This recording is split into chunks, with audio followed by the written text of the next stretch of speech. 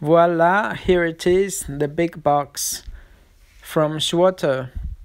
I have been waiting for it for nine days, my goodness. I ordered it almost uh, two weeks ago, but I specifically asked Schwerter to send it on on a Monday so that by the end of the week I could receive it. Um, but in fact, I did not because Thursday was a public holiday and uh, I think that kind of delayed the whole um, delivery process. But then the next Monday, I still did not receive it, so I got a bit worried. I called the customer service of Colissimo, and uh, then I got to know where the distribution center was, so I decided to go there and collect it myself. The whole journey took me three hours, but finally it is at my place. I'm really, really happy. I hope nothing went wrong inside the box. So here they are. Um, as you can probably tell, this epic haul is um, all about species Phals, including primary hybrids and some cattleyas.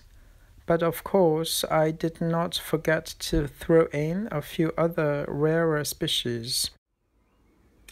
Okay, so here is all the orchids that I ordered for this haul. There are 20 of them, um, including 12 Phalaenopsis, um, four cattleyas and uh, another four um, more exotic species. I will show you one by one. So first of all, a warm welcome to the big family um, babies. You will join your brothers and sisters over there and some more um, on my balcony and downstairs. So now let me show you one by one. The um, ones on my right hand side is mainly um, Phalaenopsis and um, the ones on my left hand side are Cattleyas and other rare, rarer species. Let me show you one by one now. So this is Phalaenopsis tetraspis C1 crossed with um, amboinensis. Um, it's medium sized, it's not too small, and uh, very glossy and light green leaves. It looks very healthy. Next is Phalaenopsis. Oh, let me show you. Phalaenopsis um, Hannover Passion crossed with the Bellina. This probably is um, one of the bigger sized Phalaenopsis that I ordered this time. Very nice root system. I'm happy about this one. Here is my Phalaenopsis javanica. Oh I love the flowers of this one. It's much smaller than I thought though.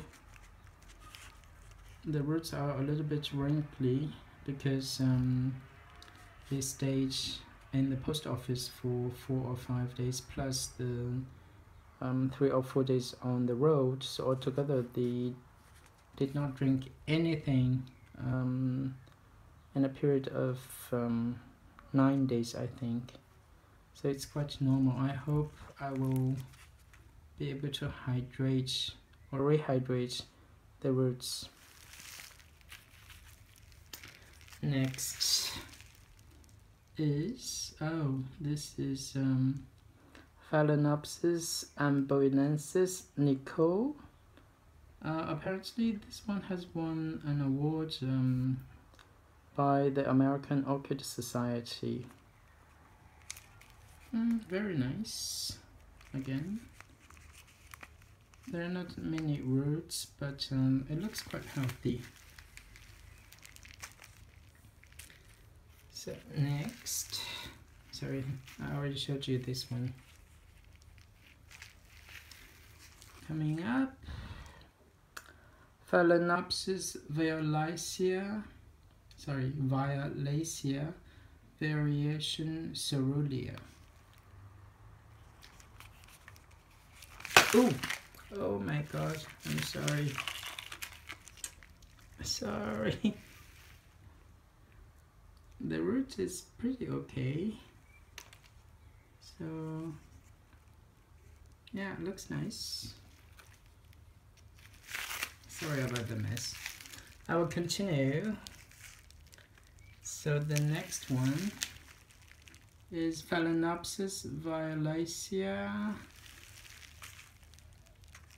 variation alba. So this is going to be our a white one.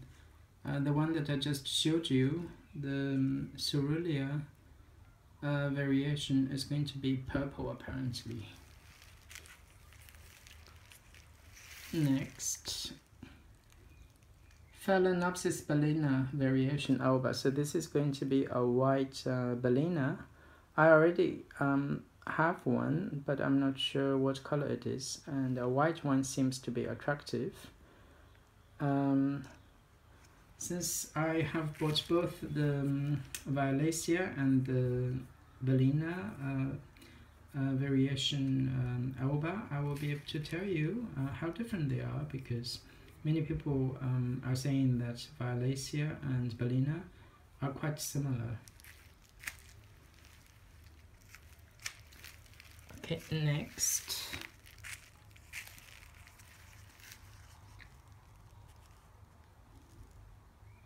This is Phalaenopsis bellina green crossed with the speciosa. Wow, there are two actually. Maybe one is um, a keiki, I don't know. They are more or less of the same size though. Very nice looking. Oh, the root system looks nice too.